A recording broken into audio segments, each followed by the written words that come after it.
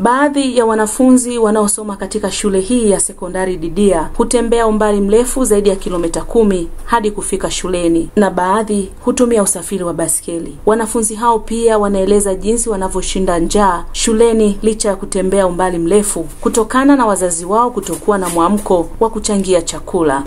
Natoka nyumbani mfano saa kumi, unaamka unaanza safari ya kuja shule, na hii barabara yetu humo njiani kuna matukio mengi yanayotokea kwa hivi sasa, kufukuzwa sana wanafunzi mida ya usiku, na ukichelewa shule na kwenyewe ni changamoto. Nafika shule naambiwa ukichelewa unaweza kuambiwa chimba kisiki. Kuna wazazi wengine huwa wanakataa kutulipia kutoa hata chakula, wanasema kwamba sisi tulipokuwa tunasoma tulikuwa hatuli shule. Njia zenyewe mbovu, miundombinu mbovu, njia sio nzuri, nakuta matope, afu nakuta basi yake yenyewe mbovu, unadondosha mkufu, kuna unafika umechafuka, unafika shuleni huku unakaa bora. Hata zamani nakuta tunachanga chakula, sasa hivi unakaa mpaka saa nane.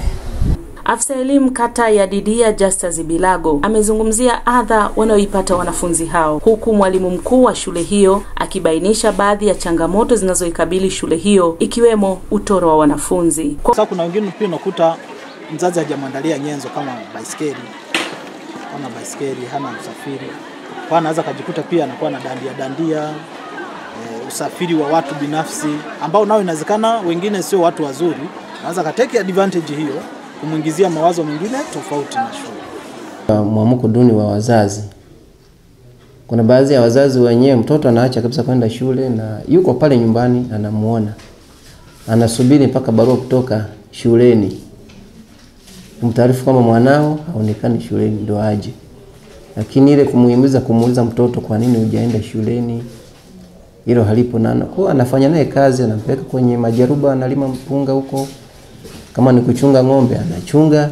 Upande wake, mkurugenzi wa halmashauri ya wilaya ya Shinyanga Hoja Mahiba amesema serikali inaendelea na mkakati wa kujenga mabweni katika shule hiyo sanjali na kujenga shule nyingine katika kata hiyo. Tuna option mbili kuona namna ambavyo tunaweza tukaanzisha sekondari nyingine, na option ya pili ni kuona namna ambavyo tunaweza tukajenga tukajenga mabweni kwenye hiyo shule. Kutoka katika halmashauri ya wilaya ya Shinyanga, Elizabeth Charles, Star TV.